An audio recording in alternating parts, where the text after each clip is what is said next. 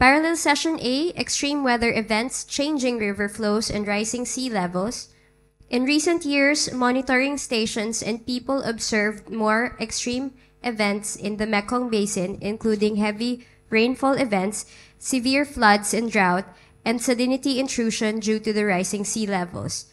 The extreme events caused significant impacts on infrastructure, crops, fisheries, ecosystems, and the livelihoods of millions in the basin, particularly in poor and rural areas. This session will discuss new evidence of extreme weather events, changing river flows, and rising sea levels in the Mekong countries, as well as priority needs for climate policy actions to reduce risk and its impacts in the region. So right now, I will hand over the floor to Dr. Thanapon Piman, Senior Research Fellow of the Stockholm Environment Institute, Asia Center. Hello, good afternoon. so uh, this is a first challenge already.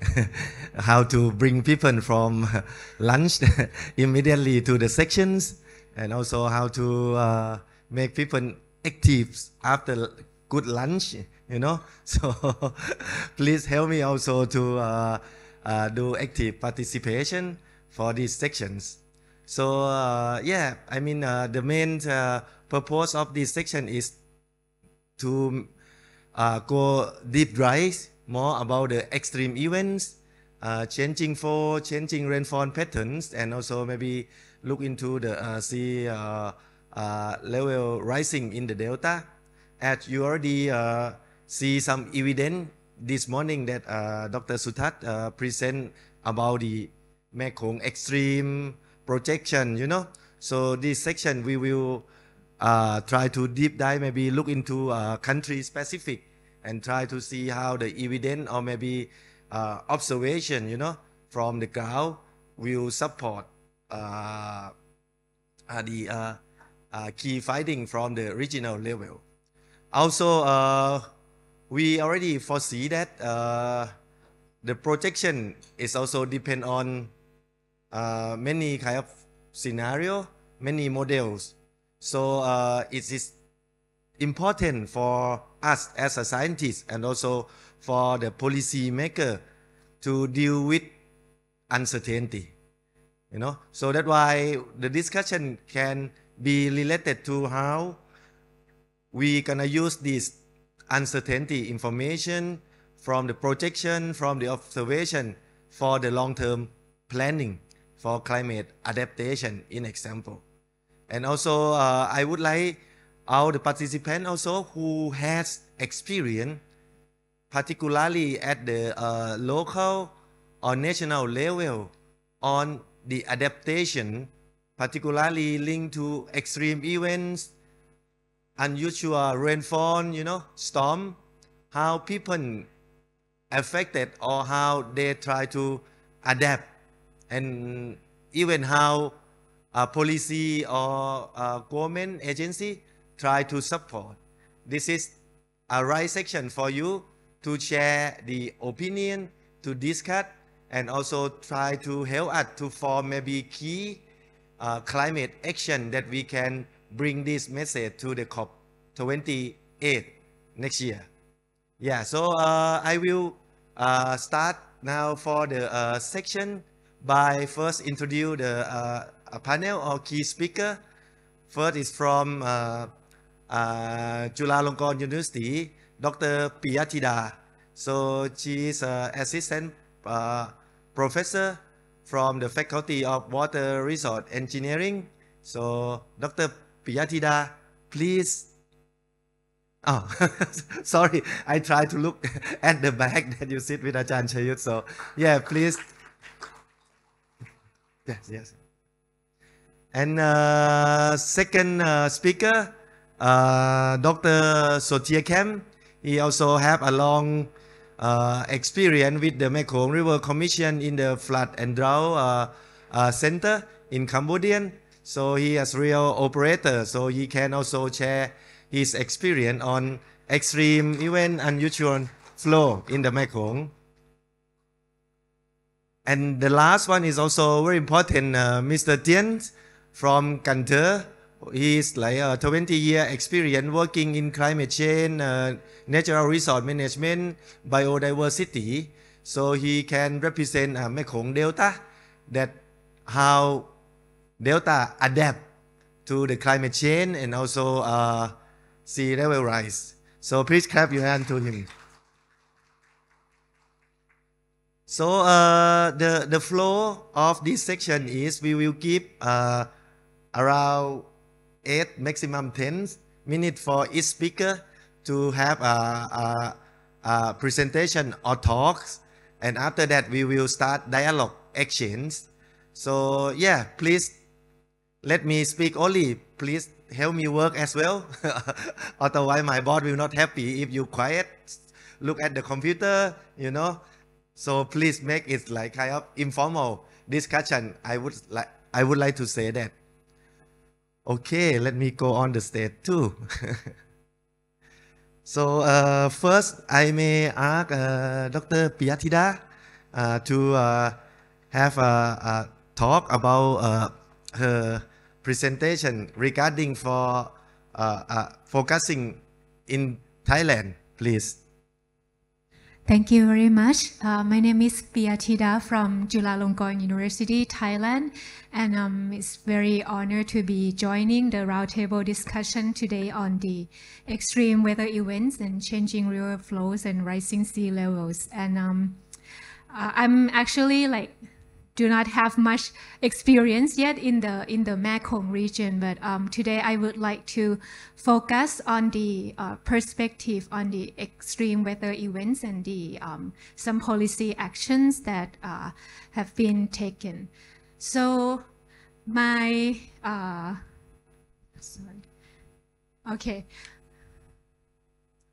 So my first um, my first uh, main point is on the uh, the big question on the extreme events, whether uh, what we are experiencing, uh, either flood or drought, are they really um, extreme or are they like uh, fluctuation and variation? And also another big question in terms of the variation versus the climate change. And Dr. Thanapon um, gave us very challenging questions whether um, there's evidence supporting uh, what we are experiencing. Is it a um, climate change or not? So I select the data from Chao Phraya River.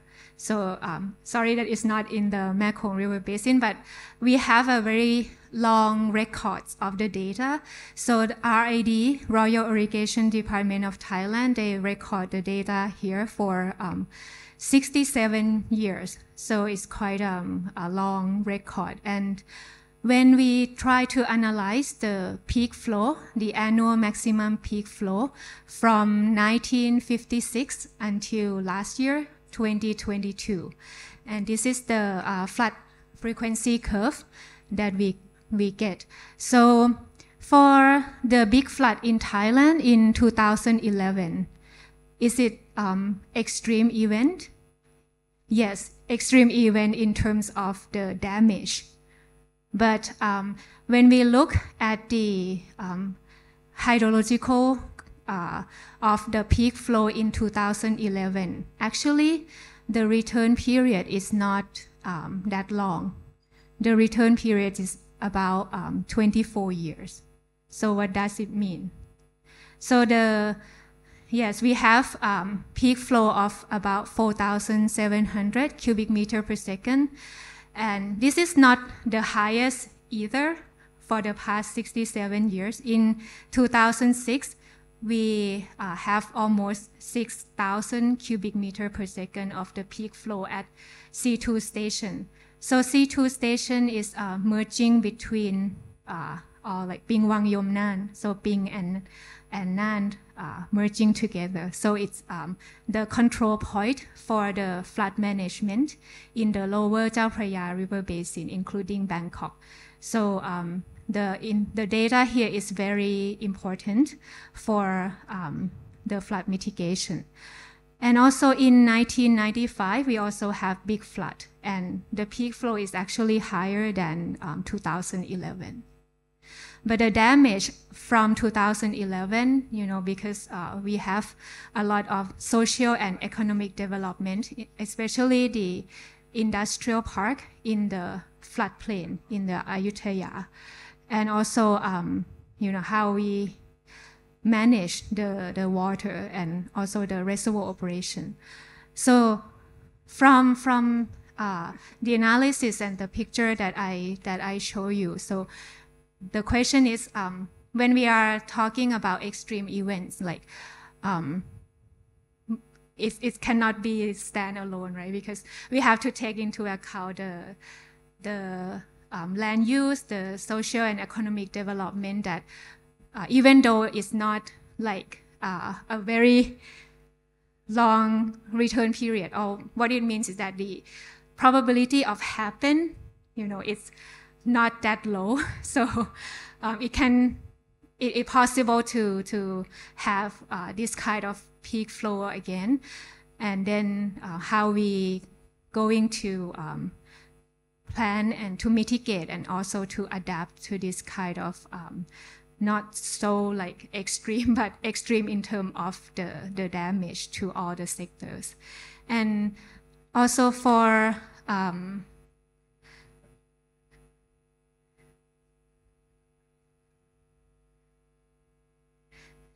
yeah, maybe I, I go to my another slide first. But uh, for this year, we are experiencing um, very low rainfall, and we expect to uh, experience in the next year also.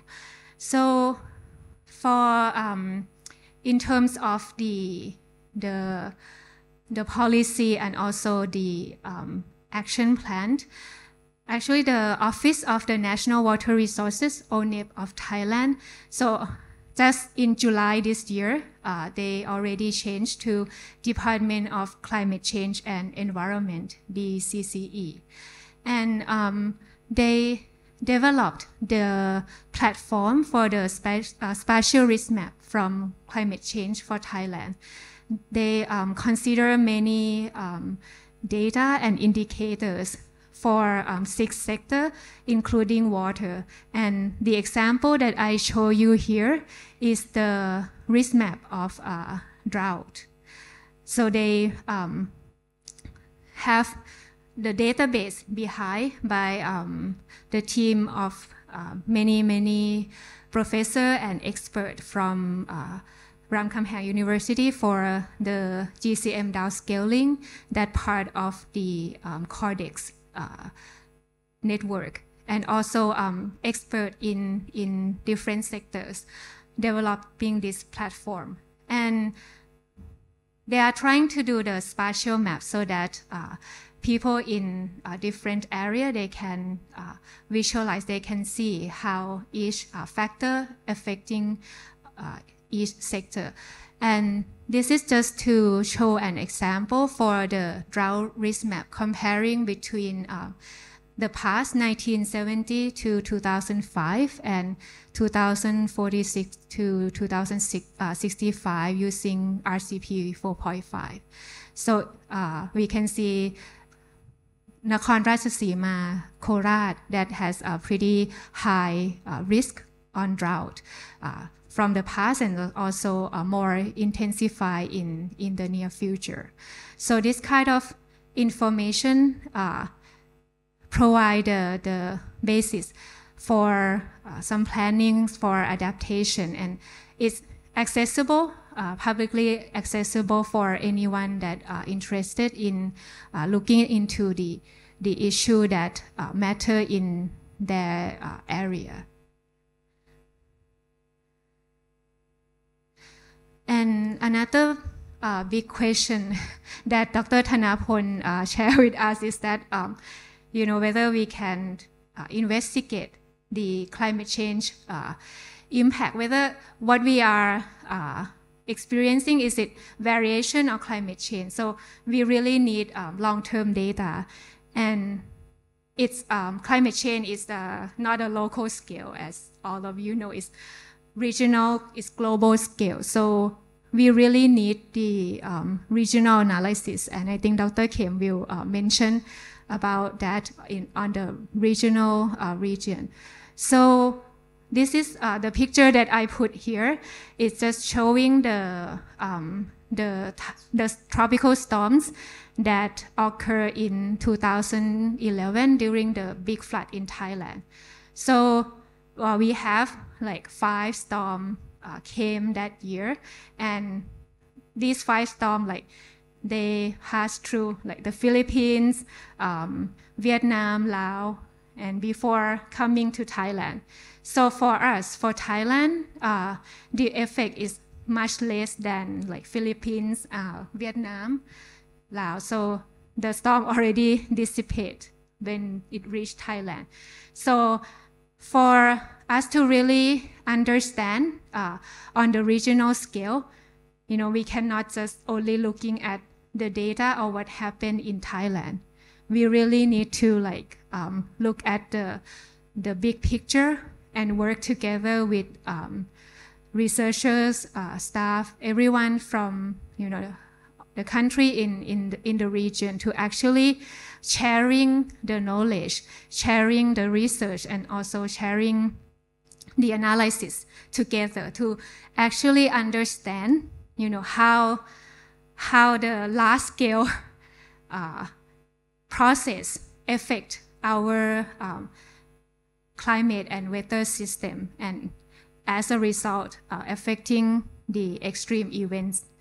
Yeah. So in terms of the policy actions uh, thailand uh, put together in the uh, master plan, the 13 master plan on climate change as well, and focusing for the social, focusing on the knowledge, and also raising awareness for the people. You know where uh, where you stay, is it a low-lying area, the floodplain area? You know how uh, you you need to understand the, um, your area and also for the land use planning. And for academic or for research, as I mentioned, you know, we uh, need resources for the research platform for the regional analysis. Thank you very much. Uh, thank you very much, uh, Ajahn Piyatida, to give a kind of uh, experience from Thailand, and I can capture a key uh, message that she talked about climate change needs long-term data monitoring to look at uh, kind of or distinguish between variation uh, cycle or you know climate change. Second, also uh, I see that the Thailand have reforms uh, ONEP into a new department that try to tackle climate change issue, uh, issue specifically. And yeah, the third one is about the uh, regional cooperation to monitor or to look at the climate as a big picture, not very specific uh, uh, country itself. Okay, so one quick question from John.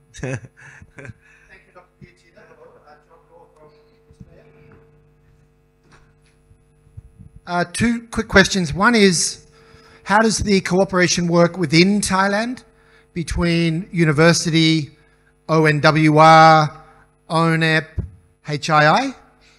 And secondly, when you say it's important for the region, uh, Dr. Sutat spoke of the, the ASEAN hydroinformatics cooperation. So how does that work? And do all the Thai agencies participate in that and the universities? Or is it just one or other? Because as a visitor, it's hard for me to work it out. Thank you. So um, maybe Dr. Sutat can also share. Is he here? Um, oh, okay. Yeah. um, maybe Ajahn. okay. Uh, actually, personally, I uh, also work closely with um, HII, developing the operation system for the um, satellite bias correction and also flood forecasting. So that's um, kind of the collaboration that we have and also capacity building together with um, HII and also uh, we have many uh, supporting and collaboration with um, other Thai government office like ONWR, uh, DWR, RID, and supporting in terms of the uh, research and academic, but not only um, like deep deep dive research, but also on the um, practical issue. Like recently, um, my colleague also has uh, the analysis on you know the annual rainfall and also the um, irrigated area. And very interestingly, like it ha has very high correlation, and we can um, try to estimate like the damage from if we have very low rainfall like this year, you know, how much uh, damage that would be result and like uh, in terms of the the high level policy and also at the at the ground level. Yeah. Thank Okay, you. thank you, uh, uh, Ajahn Piyatida. So we we will have more chance to come back and discuss. Thank you, John, for ice-breaking question. So next, I would like to move to uh, Dr. Sothea from uh, practitioner and operator experience. You know, look into the hydro flood and drought in the Mekong. Please, Dr. Sothea. Yeah. Yeah, first of all, I would like to thank uh, Dr. Thanapon for let me in this session. And also I would like to thank for the SEI and um, Ocean Partnership who could uh, organize this session and all of people are here around the Mekong region, also the global. I think it's a great honor. And on behalf of the MRC Secretariat of uh, Dr. Anula, I'm Khem Sothea. I'm working at the flood and drought management center in based in Phnom Penh because we have two main office, uh, uh, two of uh, two office, one main office in Vientiane that are run by the MRC Secretariat and uh, uh, sub-regional center at Phnom Penh just doing on the flood forecasting and drought uh, prediction. And on behalf of this uh, working on of the regional flood and drought management center, I would like to have some word and reporting what this is and uh, what the situation have been happening in the lower Mekong Basin and taking into account for the uh, climate change as you have already known by uh, our colleague this morning concern about the climate change and of course that is it is connecting to the rainfall intensity or rainfall amount that have been uh, uh, uh, captured in the lower Mekong Basin. And of course, that uh, in this year, you can see in early from uh, uh, May to August, the rainfall is seem to be a little bit higher than long-term average. However, that we use the uh, forecast rainfall based on the NASA uh, satellite data that the uh, rainfall seem to be uh, low, uh, lower than long-term average in uh, in the near future, especially from uh, October uh, to November, and also s- past to the uh, next year to uh, 2024. This is what we are concerned on the climate change in the lower Mekong Basin, and we are concerned on the uh, uh, low flow that could be happen in the our Mekong region, and that's why water management content should be considered altogether, especially not in the individual uh, agency, but also the national and subnational uh, region. And as you see, this is the uh, capturing all the general situation of the rainfall that uh, we have been recorded into our Mekong region. And this is this uh, we are concerned about the, what's happening inside uh, the Mekong region. And for the flood uh, regional flood and drought management center we are doing on uh, daily flood forecasting and also the drought prediction but uh, drought at this moment is not much concern because we have more rainfall uh, inside our region and now we are doing on daily flood forecasting but only for the mainstream along the Mekong River from Chiang Saen in Thailand to Vientiane and pass to Stung Treng and Tân Châu and Châu Đốc in Vietnam. So all uh, information are issued in uh, every morning, and of course we are appreciated to the uh, member country who also sharing our uh, data information every day.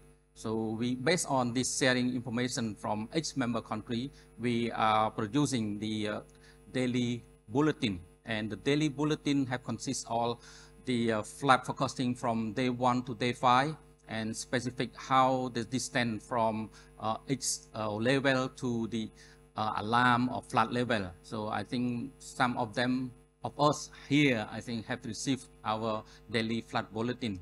And beside this one, we also um, working on the uh, flood guidance system, but uh, we just consider on what are connecting the flow into the uh, Tonle Sap Lake because of our colleague, uh, the lady from Cambodia this morning also mentioned about the uh, concern of the low flow of Tonle Sap Lake that concern to the uh, ecological system in Cambodia and impact of course to the uh, livelihood of the community living around the area. So now up to this date that the low flow of the Tonle Sap lake have been observed. So this is uh, mostly uh, can be uh, revealed on what the consecutive year of low flow in the past, especially from uh, 20, uh, 2019, 2020, 2021, and 2022. This is uh, not much uh, inflow from the Mekong River into the Tonle Sap Lake and also the uh, uh, rainfall intensity in the Tonle Sap Lake and around the area have been low recorded. This is why now the low volume or the low flow of the Tonle Sap Lake have been observed at this moment. That, that, that you can see the, in the graph that the uh, volume of the flow at the Tonle Sap have been lower than its long-term average. This is what we are concerned. And in the future, if uh, the low rainfall and uh, uh contribute in this uh, year, it could be foreseen into next year how the Tonle Sap can be affected. This is what we're concerned for, for, for the near future. And of course, uh, to, to do this effect, uh, we, uh, MRC at the regional level, we have been uh, uh conducted many uh, uh, activity related to environmental analysis. I think we have another division who have been done for water quality, we have an analysis on water impact on the hydro system hydropower system. And of course, at the uh, technical division of the MRC, also we are doing on the uh, uh, uh PMFM regarding to the procedure of flow uh, maintenance of flow in the river. So all are this in we are updating daily and weekly and update to, into our website of the MRC. So the MRC have been uh, uh, collect all information based on the uh, contributed uh, data information from the each member country, as I already mentioned. And also the flood flood, as I uh, show here, we just uh, show that MRC have been used our flood flood guidance system. We predict, not a prediction, but just a guidance for uh, one hour, three hour, six hour, and 24 hour that uh, can be occur and concentrate, uh, concentrated in to any specific region in our subbasin. And uh, the flood flood also uh, can uh, update in our website. I think I would encourage all of you if you are interested please uh, go into our MRC website and you can find more information, not only the flood and drought or, or flood flood, but also be capturing, summarizing, uh, summarizing the uh, uh, weekly report of uh, hydrological analysis in the lower Mekong Basin. So uh, I, I, I, would encourage if you have time, please go to our website.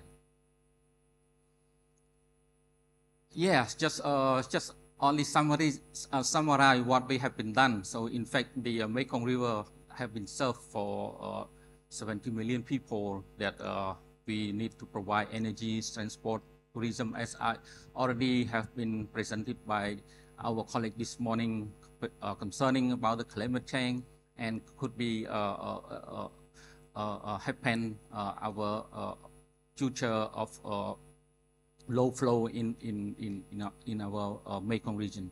And flood risk can be minimized through our various form uh, of land use, like you see at flood not only in the river, but also at happen at any side of the uh, uh sub basin or sub uh, catchment that can be uh, happen like landslide or whatever. Like yesterday, they have a big flood, flood, flood in Vietnam. So in, in northern Vietnam, So it is a huge make a huge landslide over there and cause a lot of damage in uh, uh, the nation.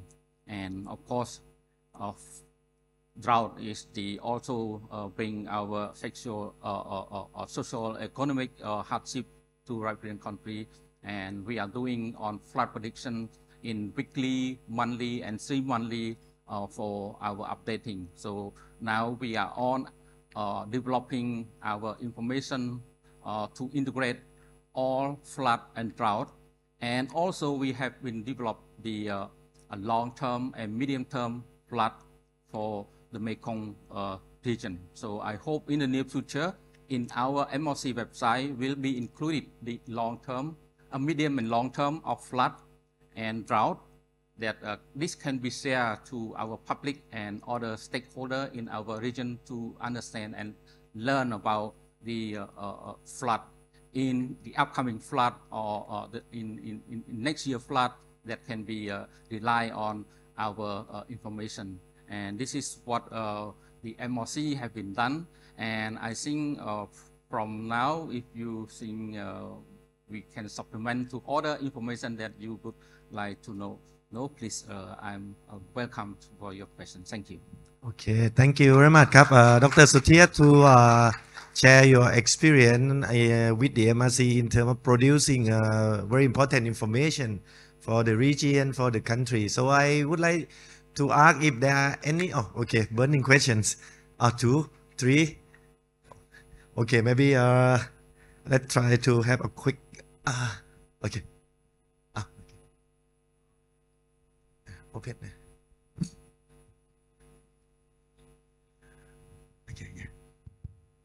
Uh, my name is Subel. I'm a journalist, environment journalist for RFA. I wanted to ask, sir, um, about uh, the Mekong uh, river flow. It's at lowest level in last few weeks. Is that correct? Yes, uh, you are correct because uh, most of the stations are staying about one or two meter below its long-term average.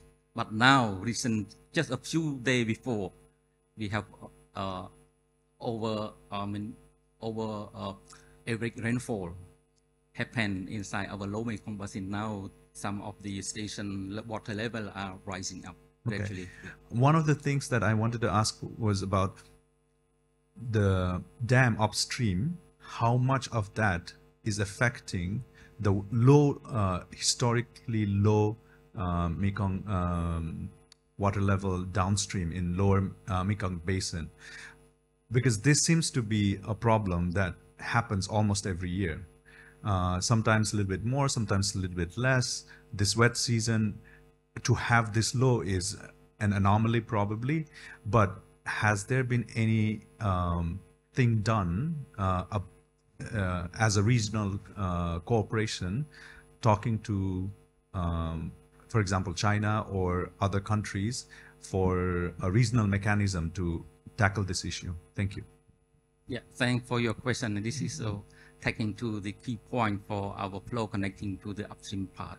As you know that this uh, uh, the Mekong River have connecting from the upper part, especially from China, and most of the people we talking about the flow of the Mekong, all are concerned from the flow inflow from China.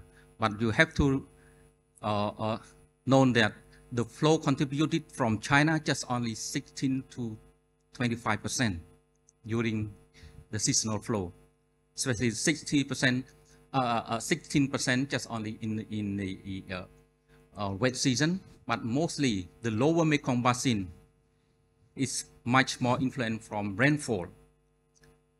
If you think about the inflow from China, of course, have impact nevertheless.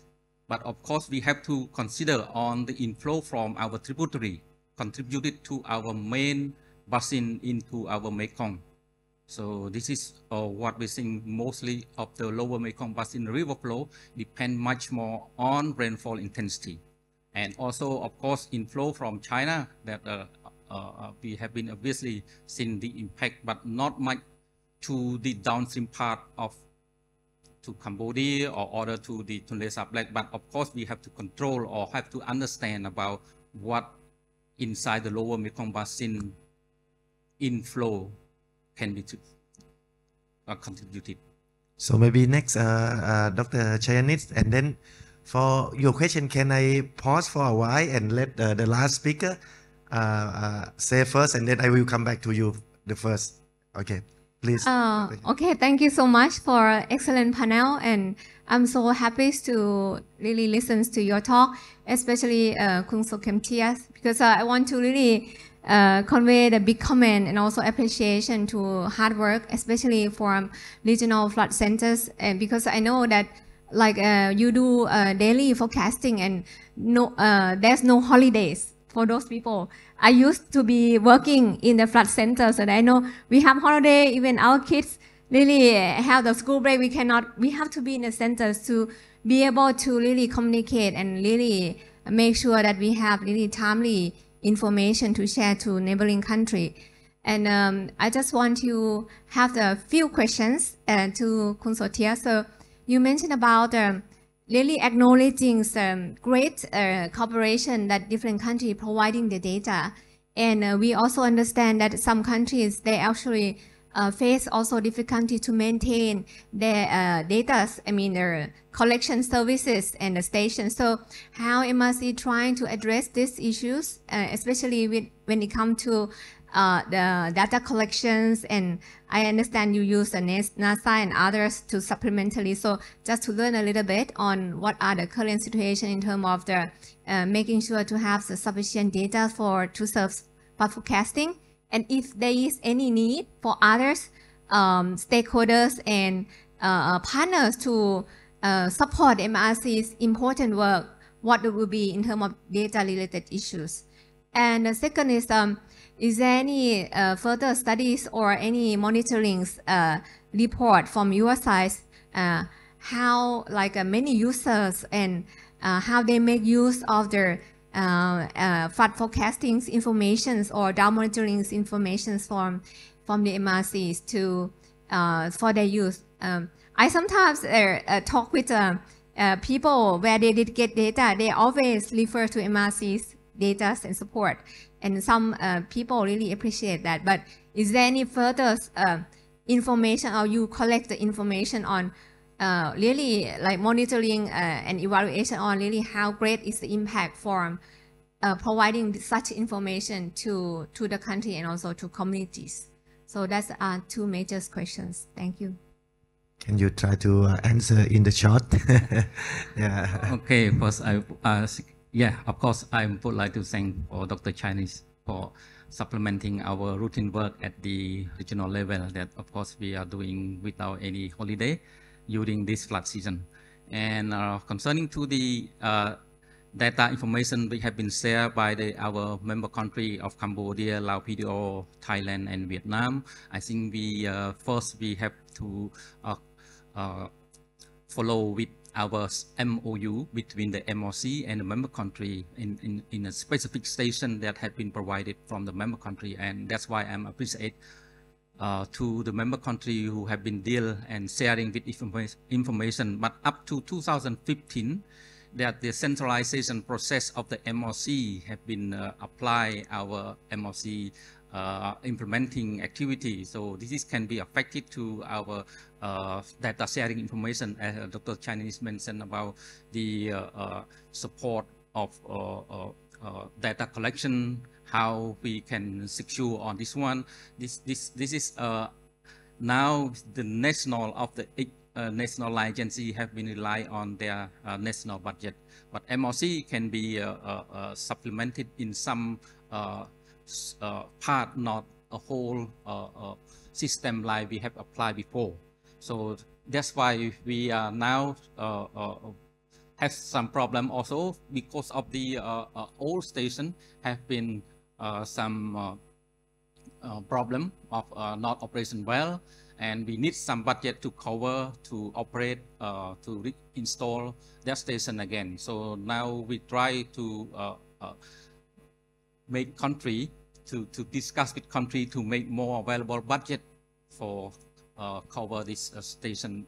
However MRC have some small package also to cover our monitoring network like we have been installed Mekong HYCOS before, and that Mekong HYCOS have been uh, still under uh, uh, uh supported by MRC package. So this is kind of a relationship between MRC and member country are still ongoing well. And although we have a problem, as I mentioned about the number of stations that have problem. And for uh, what you mean about the last one? Uh, the second one is about okay, you already provide the information to the national governments and also link to the people, right? And uh, do you have any study or any kind of uh, research to uh, look at the feedback? You know, who using the information? Uh, yeah, in fact, we have uh, uh, regularly meeting between uh, regional and national, also connecting to the subnational level. And I think most of the information provided from MRC just sharing at the national level, but from national to subnational or to uh, uh, community level is, is a rule of national rule only but uh, we are really working not only for considering on the uh, uh, uh, researching or what we are studying, but we talk directly with the people who are working with the MRC, especially from the line agency. So this is what we can share, what we have lacking point, and we need to supplement the point based on the member country comment. Okay, thank you, thank you. So I need to have move quickly to the last uh, speaker, Mr. Thien, to uh, share his experience, observation in the Mekong Delta regarding to uh, extreme events, uh, sea level rising in particularly. Please. Thank you, and good afternoon, everybody. And I'm the last, but also the least speaker. My name is Thien, but I know Vietnamese name do, do not make sense to you. Just so you forget my name. I'm just a Delta boy coming from the Delta. And just an ordinary Delta boy, but I am very talented. I've got a talent. When I start talking, people start sleeping. so, so, so do, you, do, you, need some exercise? I can ask people just stand up Please stand up. yeah. Yeah, do some exercise, you know, to support uh, okay. Mr. Thien, you know. If you uh, pity that uh, he have the, he's the last and the least time people to talk. Okay. Okay, so you can sit down. oh. yeah, because of my talent, um, so I'm gonna make it very short, and I'm gonna make crispy points so that you can take home. Um, what to talk about? All right. Um, I'm from the Delta. That's the important point. Okay, the first point I want to make is that you cannot um, talk about climate change and climate change adaptation alone without talking about other things because everything is interconnected and you have to address the whole web of issue at the same time, not just talked about blah, blah, blah, climate change as a standalone thing. And in the Delta, it's a good example of that because um, I will have to ask you to imagine um, or look at that one and imagine the Delta, okay? Because our position, our situation, um, location at the downstreammost um, part of the basin facing the sea. So we are subject to whatever's happening upstream, and we are subject to whatever hap happening globally and from the sea. And we are subject to the things that we are doing to ourselves also. So anyone learning or haven't heard about the Mekong Delta, you would have heard about a long list of issues. Yes, the Delta is facing a multi-dimensional crisis. Long list of issues. Um, erosion, severe erosion, houses collapsing, uh, salinity intrusion very severe. We've lost crops and we are subsiding and a lot of other things. But um, those, the long list can be categorized into three groups. Again, at the sea, it is rising. And the media usually scare the public uh, with, with the projection of one meter, one full meter of sea level rise, and they make it sound like tomorrow morning the sea going to rise one full meter and submerge the delta under the, the Pacific Ocean. But the actual rate of, of sea level rise, we learned this morning, globally is 3.6 millimeter per year. Okay? That's also scary. I'm not a denier. Um, climate change and sea level rise happening for real, but it's not tsunami. It's not tomorrow morning. It's a gradual, cumulative process. And to us in the Delta, it's quite, uh, it gives you, still gives you time. And in inland, we are subsiding and quicker, much quicker than that, at four, three, four times faster. And to us, that's the adaptation deficit or uh, a more urgent priority because um, we are extracting groundwater too much, like you are living on a watermelon and trying to drink the water, the juice from the watermelon, and the, the melon collapse, just like that. Why? Because in the past decade or so, uh, uh, driven by the rice first policy, we produced too much, too much rice, and we, we built too much infrastructure, stopping this and that, anti-salinity and so on, anti-flood and so on. So, and we use a lot of um, uh, chemicals. So we cannot, we can no longer use um, surface water for domestic uses. So we relied on on drinking the juice from the watermelon, the core of the watermelon. So we're thinking. So that's the first, uh, the the more urgent priority. Okay, upstream, and yet upstream, we are subject to things happening upstream. Um, the deprivation of sediment and sand that cause the, the, um, the, the, rampant erosion, we, we won't discuss that today. And the barriers to fish migration, just mentioned in passing, we don't have time. But I'm going to talk about uh, extreme events because um, in the Delta, we are facing the sea and the, the salinity uh, intrusion boundary is a constant struggle, day and night, year after year, between the two forces, the river force and the, and the sea, and the, the, the sea force, the water from the sea. Whenever the Mekong flows weaken, the sea pushes further inland as simple as that. So in the dry season, we always have a natural fringe of, of salinity, and that's okay. But in some years, not okay. Because upstream climate change, uh, upstream affects the, the rainfall and the amount of water uh, available in the river.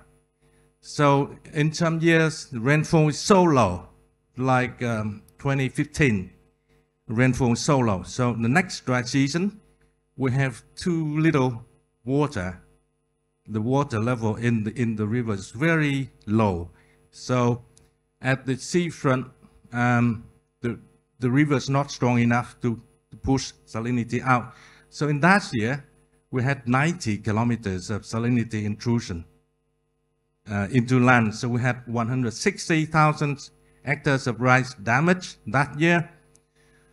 And, and that's not because of climate change and, and ex, uh, extreme El Nino alone, but also on top of that, we have the hydropower.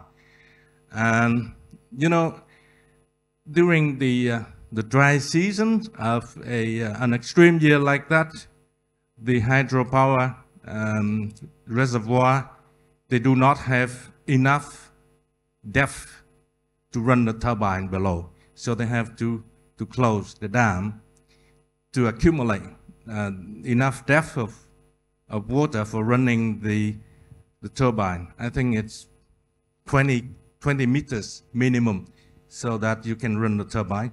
And so it takes time for, for water to pass the dam because the dam, the dam closed. It takes days or weeks to pass each dam.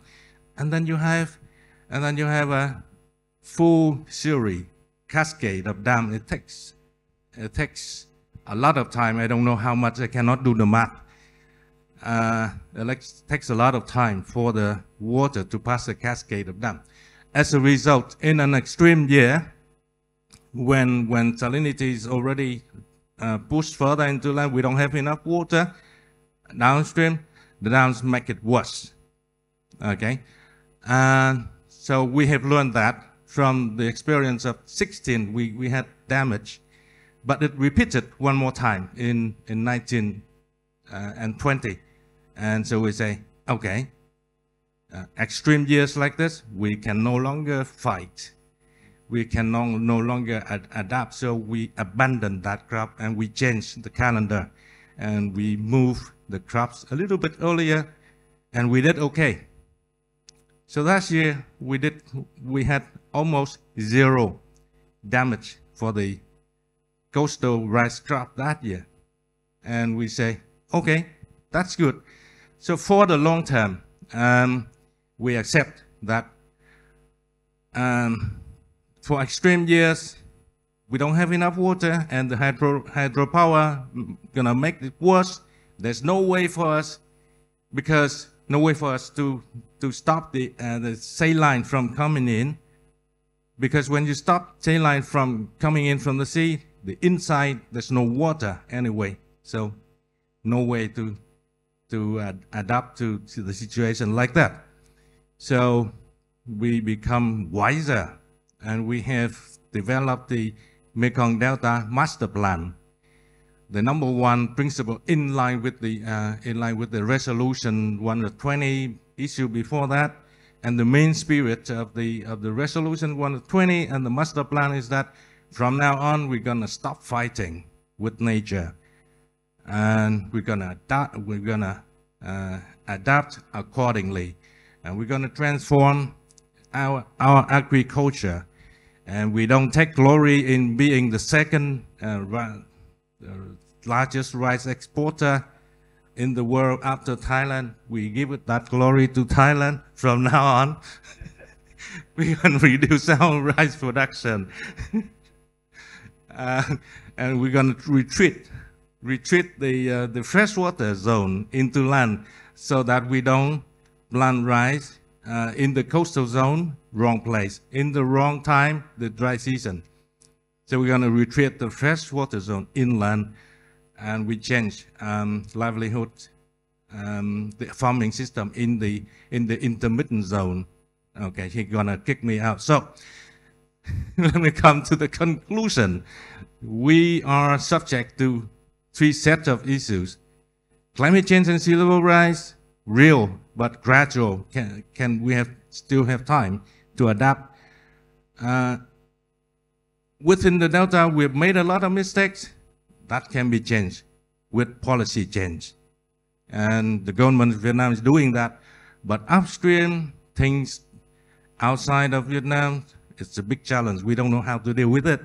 And the change of flows and especially the deprivation of sediments, we don't know how to deal with it yet. Okay, that's the conclusion. Very good. Please clap the hand to uh, uh, Mr. Thien that well expressed, you know, what happening in the Delta. And I think people, even no experience to the Delta, you can imagineนะครับ that uh, not only the climate change, but there are cumulative effect and also unknown and known. I want don't want to come back that. So maybe uh, I may have a five minute to have uh, a question. Maybe start from the lady. If uh, uh, Puki Puki, can you keep the microphone? Sorry, yeah. Uh, So, and uh, do uh, anyone would like to ask the, the questions? Please raise the hand so I can uh, prioritize. Uh-huh. While waiting for question, I have a question for you on why why this room so full. Ah. Is it are we that attractive or are you too lazy to go to other? Thank you very much, Cup, to help me moderate this section, uh, Mr. Thien. Please, yeah. Yeah, thank you very much uh, for all of your insights. My name is Katrin Eidel. I'm a cultural anthropologist, uh, basically affiliated to the USSH University in Ho Chi Minh City at the moment. Um, so actually, I have um, two questions uh, to both of you. Maybe first, um, the first question is regarding the daily um, flood forecasting, and actually, you already um, asked my question, but I wanted to delve a little bit more deeper and I wanted to ask you what explicitly, what kind of data do you use for your forecasting and all, if you also use NASA satellite data? Because um, what I find sometimes a bit complicated in this data and data imaginaries are the problem that it shows only when, for example, extreme weather, uh, extreme weather um, happenings occur, but it does not show who is affected actually by it. So, for example, extremely vulnerable groups are not, it's not uh, visible in these kind of imaginaries. So I just wanted to know what kind of data you use actually. And where it comes from, okay, it was partly answered already. And my second question uh, goes to Thien. Um, I, and I remembered your name. Um, so um, I'm very interested in how um, dams and these sea dike um, policies plays out on site actually. When you're saying that you are now trying to transform uh, with this master plan from combating climate change to working with climate change, um, I was just wondering how you evaluate the dams in these scenarios um, with regard to that, because these dams were erected mainly for electricity power um, and only uh, and also to um, combat floods, for example. So how does this place, how does it comes into this vision of um, going with climate change and not combating and fighting against it anymore? So thank you very much. Yeah, thank you so much. I take first. Yeah. Thank you for your question. I just uh, brief only the data information that we need for our flood forecasting. Of course, first we need our, our data from member country, including rainfall and water level. And totally we receive only 138 uh, uh, rainfall station include for 46 uh, uh, water level in the mainstream also at, from the tributary. Uh, you see the uh, lower Mekong Basin area have a acute area that have not covered all the rainfall. That's why we use satellite data from, uh, especially we use data from NASA at the moment, and before we use from NOAA. And because we make a bias correction between the uh, ground station and the uh, satellite data, that's why we apply for our model for flood forecasting. I'm sorry, I didn't really get your uh, questions. Can you um, repeat using simple English? sorry, yeah. Um, Are you I'm asking about dams or dikes? Yeah, both actually, because there is um, this uh, sea dike that is proposed somehow to build between the Lower Mekong Delta and Ho Chi Minh City. Nobody knows if this ever will happen. But however, I mean, there are still are dams implemented or still on site in the Mekong Delta. And I was just wondering um, if the master plan um, foresees not to combat uh, climate change, but to go with climate change and with nature, how, this, uh, how these dam, dams come into into play then, because they actually are built in order to get the floods out of, of the Mekong Delta. Okay, let me take the coastal dikes then, uh, because upstream we all, uh, already described. There's three scenarios upstream. Um, normal year, usually upstream. Right? Normal year, normal years, um, the dams will cut off the flood peak and store some of the water in the in the reservoir and add to the the, the dry season flow. Okay, but in dry year, um, because of not enough uh, depth, the dam's going to make the drought worse downstream. But in la extreme La Nina year, we don't, we haven't had yet, uh, and I expect that in high high flood year, extreme high flood year, the dams will release water for emergency, for dam safety purpose, and add add more water to the flood to the uh, already flooded downstream. So that's double flooding. Okay, that's enough for upstream. Downstream, many people have asked the government of Vietnam to build a, a mega sea dike as a strategy to cope with sea level rise. And we are thinking, and they say, look at the Dutch, look at the Netherlands. They are in, underwater and they are thriving. And why not, why not do the same? So luckily, I just wrote um, uh, uh, in an article yesterday, waiting to be published against that. I made several points. Number one, we are not Dutch. Do I look like a Dutch? No. No, the point is that we, um, the Netherlands in Vietnam, we mistake, uh, we mistook that the Netherlands, the whole Netherlands is under underwater. That's not correct, right? Only 30% about uh, the Netherlands is underwater because they kept pushing in the last 700 years by building dikes and pump water out using windmills and so on. And now they have also a lot of problems um, in the Netherlands. The land inside also subsiding. The dike is also um, because they built with with peaty soil, so some of the dike cracks during um, drought year. And also now they are upgrading the dikes because it's 90 years old. Okay, so the delta, uh, not the same not the same as the Netherlands, so we shouldn't build that. Okay, suppose when, when the delta is so low, the sea is so high, you build a mega dike at the seafront to, to keep the sea at bay, and sometimes you miss the sea so much you have to climb the ladder up, to the dike and gain the view of the sea, and then you climb back, right? But you forget that your people have to go in and out by boat for every day. He's gonna kick me out again. Otherwise, otherwise everyone have to kick out. okay, one more minute. Okay. The most important thing is that we are in a tropical context with 2,000 millimeters of, of rainfall.